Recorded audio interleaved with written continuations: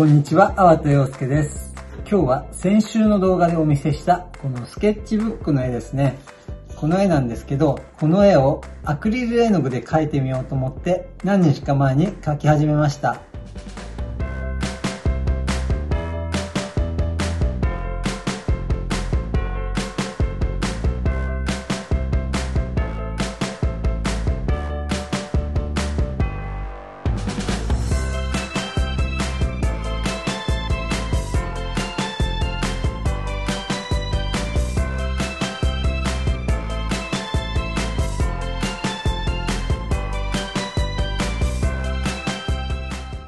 なんか絵を描くのも旅行へ行くのもなんか似てる感じできっちり事前に計画を立ててその通りに行動をするのが好きな人もいれば私は計画自体ほとんど立てないで行き当たりばったりの旅行を楽しむのが好きなのでなんか絵を描くのも旅行へ行くのも人それぞれの特色が出ていいんじゃないかと思います。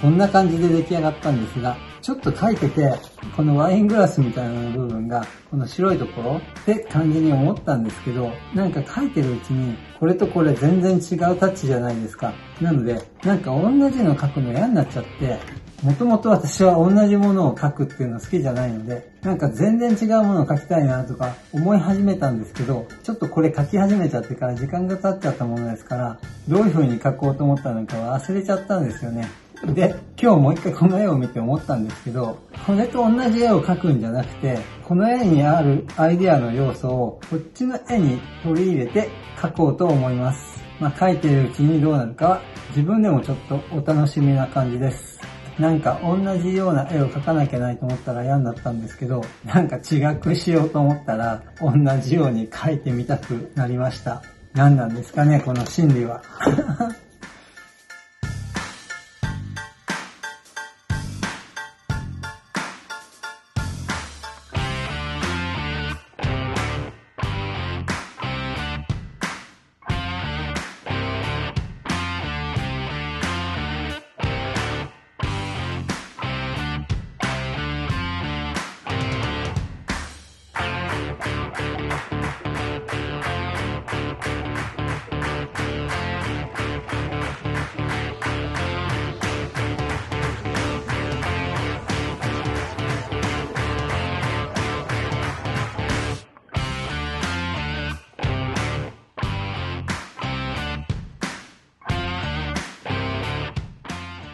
なんかもうどういう展開になるか見えてきちゃったような感じですね。自分でもどんな風に描くのか想像できなかったんですけど、なんかすごい似てきてしまいました。でもこの顔とかなんか変な感じなので、ちょっと面白い顔とかにできたらなと思います。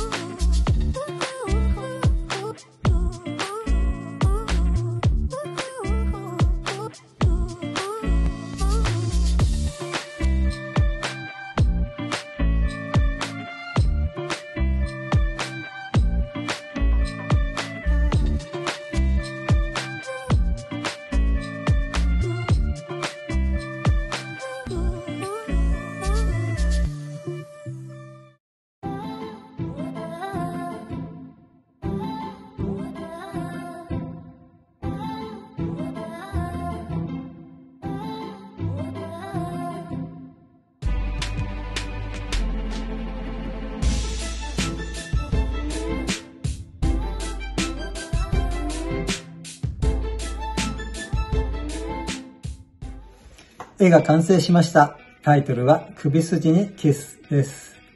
アイデアはここから撮ってるんですけど、全然違う雰囲気の絵になりました。なんか自分で両方とも気に入っています。この顔のこのキュって部分、そこが同じになりましたが、あとちょっとこの手をニューンって伸ばしてるところ、ニューンって伸びてます。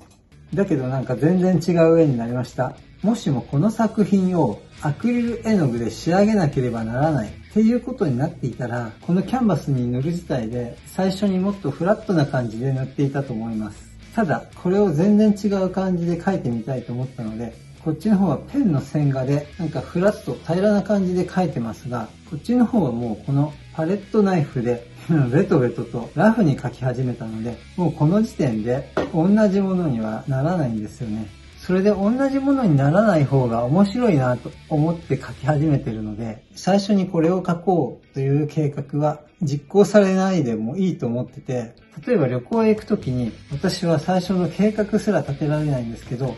計画っていうかこういうスケッチがあるにもかかわらず、同じに書くのが嫌だって思っちゃうんで、でも行き当たりばったりの絵を描く旅行、なんかそんな感じが心地いいのかなと思います。ちんと計画を立てていろんなことするタイプの人は、まあわかんないけど、絵を描くときもきっとその計画っていうのは頭の中とかスケッチとかで出来上がって、それをきっちりやったらいいものができる。そういうタイプの人もいれば、私は注文の絵を描くときもお任せで描かせてもらってるって感じで、そうしないと描けないんで、なんかどっちがいいとかじゃなくて、どっちが自分に合ってるかってことなので、なんか人それぞれで面白いなって思います。皆様は計画を立てる方ですか？それとも行き当たりばったりの方ですか？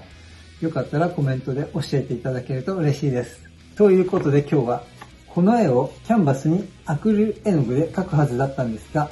全然違う絵になりました。この動画が良かったと思った方はグッドボタン、それからチャンネル登録をしていただけると嬉しいです。最後までご覧いただきありがとうございます。また次回お目にかかりましょう。さようなら。